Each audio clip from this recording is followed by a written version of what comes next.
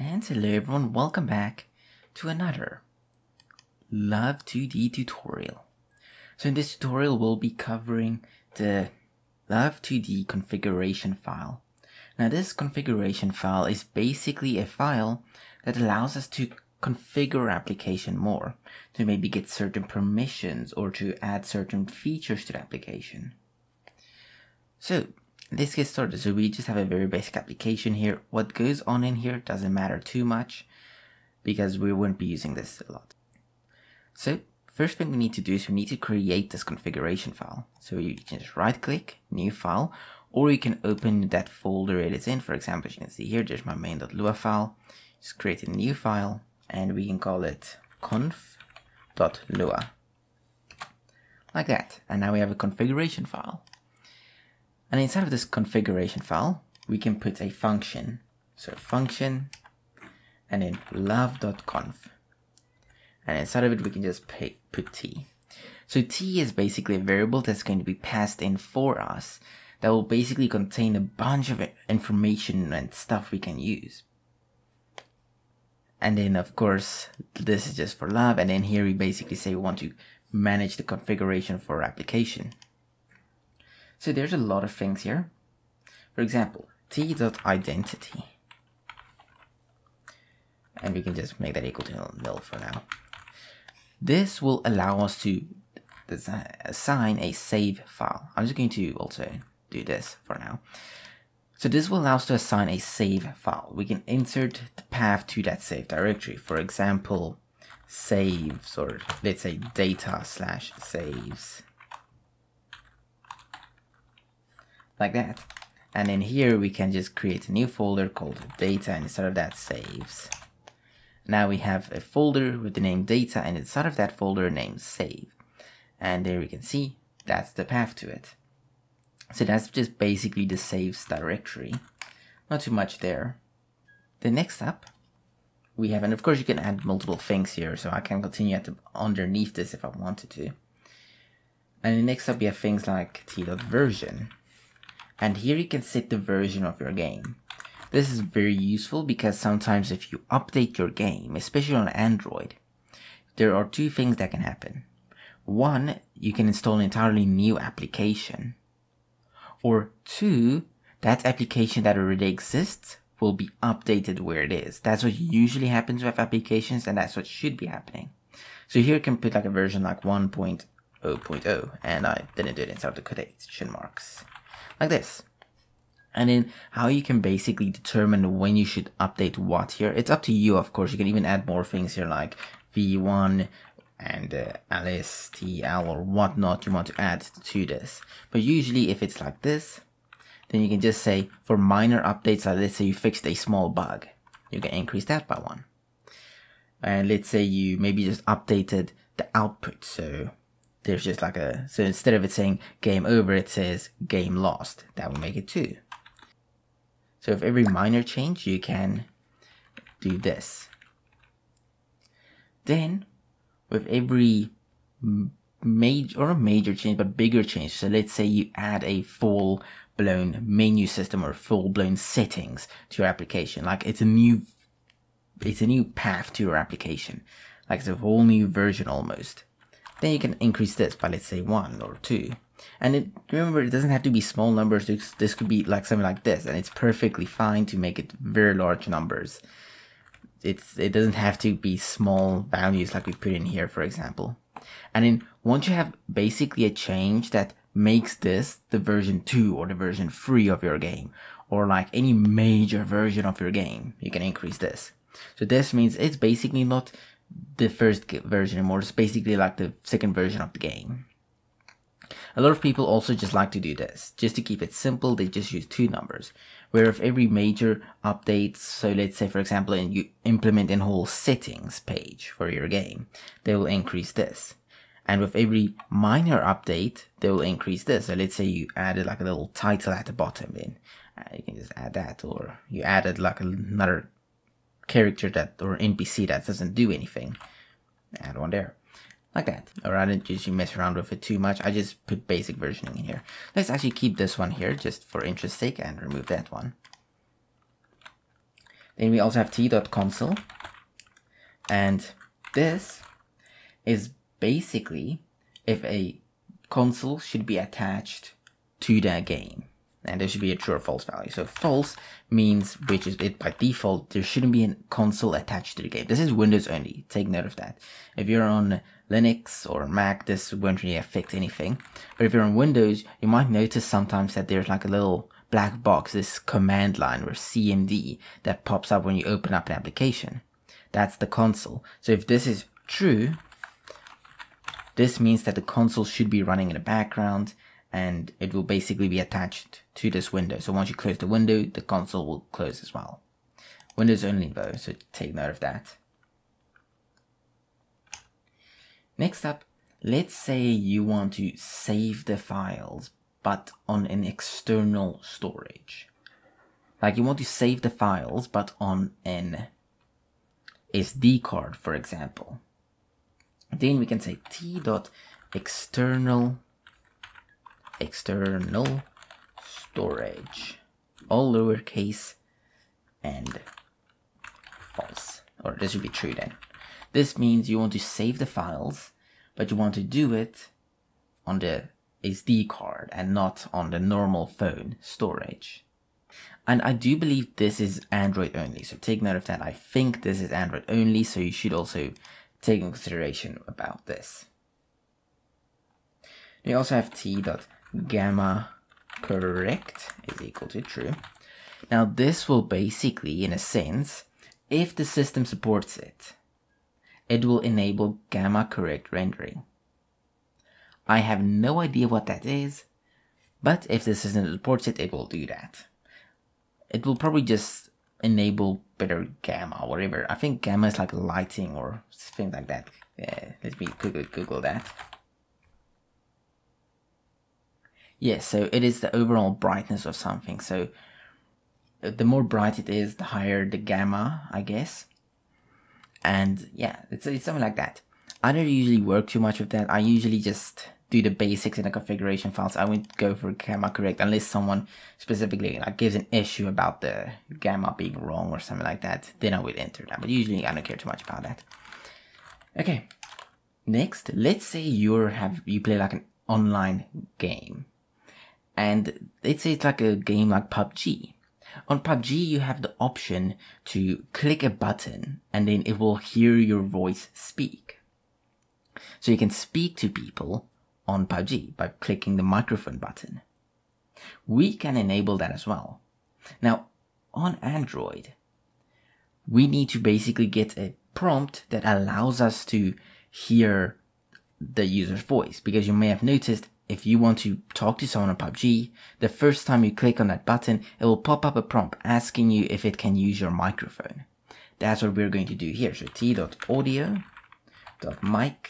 equal true. So if it's on Android and you want to enable microphone, then this will basically give them a little pop-up asking, hey, can I use the mic?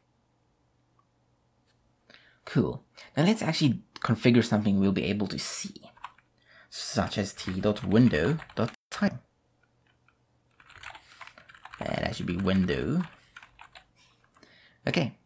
And we just make that equal to whatever title we want. For example, cool ball game. Now if we were to love this, we'll get this right here, which says cool ball game. So that's this part right there. So that would be the t.window.title. We also have things like the window icon. You'll notice I have a little folder here, here with an icon inside of it. It's called gameicon.jpg.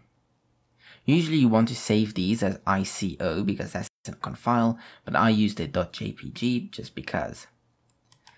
So here I can just specify icon slash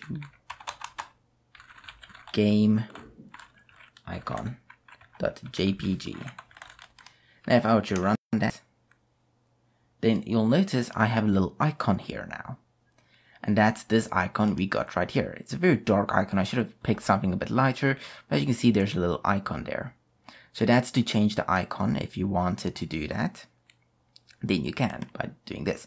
And you see it's an icon and in game icon. Take note, this path is kind of relative at the moment because as you can see here, if I were to move my conf file outside of this folder right here, so if icon was in a different folder, it would not find this icon here. So keep note that the location of where the conf is and where the icon is, that's very important. But we're not going to go too deep into that, that's something completely different you usually have to worry about.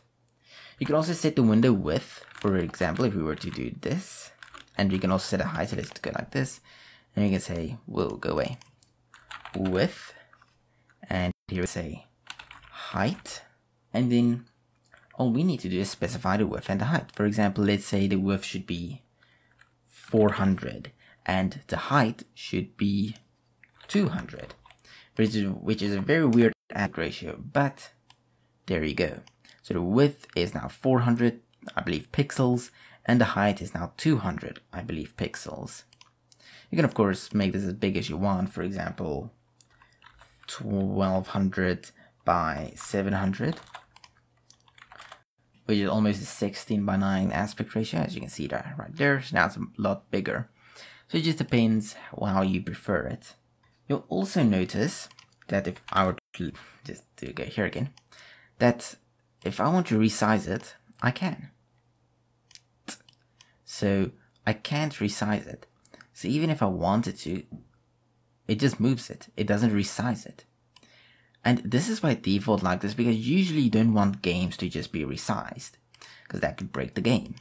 But if you do want this to be allowed for your users, you can say t.window dot resizable is equal to true. Now the window can be resized, so if I were to bring it over here, now to go here, then I can resize the window. So it by default it is disabled and for a good reason. As I say, you usually do not want to enable this because that could cause the game to break. You'll notice in more popular games as well, you can't resize the window because it's dangerous to resize the window.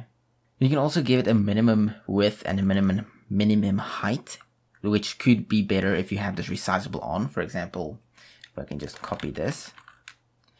And in here, instead of just saying width and height, we can just say min. And I'm going to copy that width there and just paste it here. So now I can set like the minimum width and height it's allowed to be. For example, let's say the minimum height it's allowed to be is 500. Whoa. And the minimum width it's allowed to be is let's say 1000. Now, even though it's resizable true, it can only be resized to a specific size. So here, if I were to resize it, as you can see, after a while, it doesn't allow me to resize anymore. But I can make it bigger, but I can't make it smaller. So it has like a minimum size it can be resized to if you want to enable the resizable. But as I said before, rather not. You can also remove a window border by saying t.window.borderless is equal to true. This will remove the window border, which I don't always recommend, but it's a good option if you want to allow your users to have that. Okay, so as you can see, it doesn't have anything up here. This should be optional if you want to put it in. You shouldn't force this onto the user because not all users like this. You'll notice with most games, you have an option to remove the borders. And that's a good, there's a good reason why there's an option to remove it. And usually by default, it's not removed unless it's by default full screen. You can also enable VSync. So VSync. And this you should specify with a number. I don't quite know what this number means, but you should specify with a number if you want it enabled. And here it is now vSync enable. If you don't know what it is, it's I think it's vertical sync and it's to sync sound and and the video, but it's it should be optional because yet again not everyone will benefit from vSync. Because it's by default it is aligned as it should be, but usually you don't worry too much about it. Okay, so that should also be optional for the user to change. You shouldn't force it on them again. And here is something that could possibly solve my problems. Display. Tell it on what display to appear. For example, if I say display 1, it might actually, nope, it displays on that one. If I say display 2, which is not my main display, then, ah, it does appear here. So now what we can do is instead of me having to continuously drag it over to show you, I can now go here and I can make full screen. I actually didn't know this display was here. I just realized it, that it exists. Interesting. As you can see, it's full screen. And I didn't actually think this through because, you know, I can't really exit. But yeah, so that's if you wanted full screen. And I'm going to keep that there because that's actually very useful. I wish I knew that existed much sooner. You can also specify the X and the Y coordinates. So if we were to copy this and go here, then we can like say X and let's make this 200. I don't know if this is now going to go back to this screen because the displays are kind of linked. Okay, so now it's here. So the X is now 200, as you can see right there. If I were to make that less, so let's say 100, then it's 100 from the side here. So yeah. Then we also have Y. And let's make this 100 as well. So you can see 100, 100. That's very useful if you want it to be at a specific location, but yet again, you might just want this if you want to save where the user last had the application when they closed it. That could be a good feature, but forcing a location, yet again, not always a good idea, because that location may not exist on the user's monitor, because let's say their monitor is smaller than yours, and you set it to specify being on 500, 500 they might not have a screen, which is very rare, but they might, might not have a screen that size. So yeah, just keep that as note. This should usually be an optional thing you add. Alright, so next up is something I do not recommend you play around with. it's, it's good to know it exists, but you should not be playing around with this. Uh, unless you know what you're doing, but usually you do not want to play around with it. You can disable and enable modules. By default, all modules are enabled in Love2D, but you can disable them if you don't want them. For example, t.modules dot and let's say timer is equal to false. By default, this would actually be true because the timer is enabled. Now, this timer right here provides this dt here, which is the time between this frame and the last frame. So if we remove that module, dt, so if we make number here dt, and then print that value, dt would be 0. So right there, and I've accidentally removed my one thing I liked. So as you can see there, it's 0. But if we were to, yet again, just remove that from there, and actually let's bring back our window display, I did kind of like that. So if we were to remove that disabling module, then as you can see, dt is a number. So just take note, you can disable modules, which I guess would probably decrease the application size or something. I don't know what it will really benefit in doing, but you can do it if you want to do it. So just take note of that. So usually don't, just don't disable anything. That's a good rule of thumb.